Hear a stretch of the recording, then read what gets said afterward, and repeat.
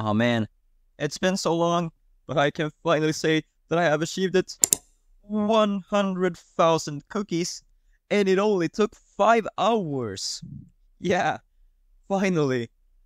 Inner peace.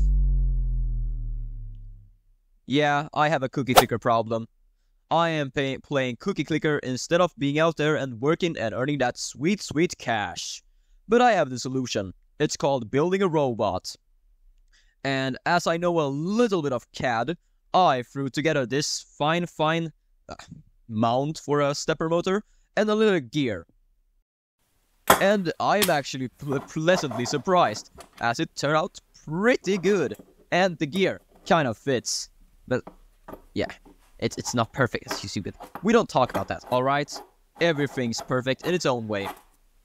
So now over to the fun part. It's called coding. And I have a little special strategy called Control C and a little bit of Control V.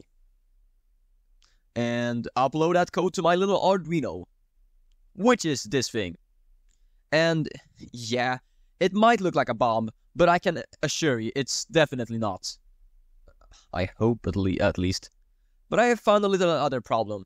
This thing is really slippery. But hey, as with any engineering problem, a little bit of duct tape will solve it. So here's a little montage of me uh, attaching duct tape. How interesting. And yeah, walla bing walla boom, here it is. So let's turn on this thing. And wow, shit, look at this, it's actually working. Damn, I uh, kind of didn't believe that. But, but, but wait, wait a minute. What's this? Cursor? Is this like another button you can press? Like a premium button? Because it seemed to cost cookies. Why would I want to spend my cookies? My my hard-earned cookies. Why, why is it going up in price? what? Why am I earning so much cookies? Wait a minute. Let me turn up this stuff.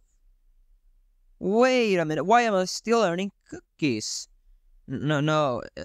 It can't be another clicker. Can it? No, no, no, no, no, no, no, no, no, no, no, no, no, no, no, no, no.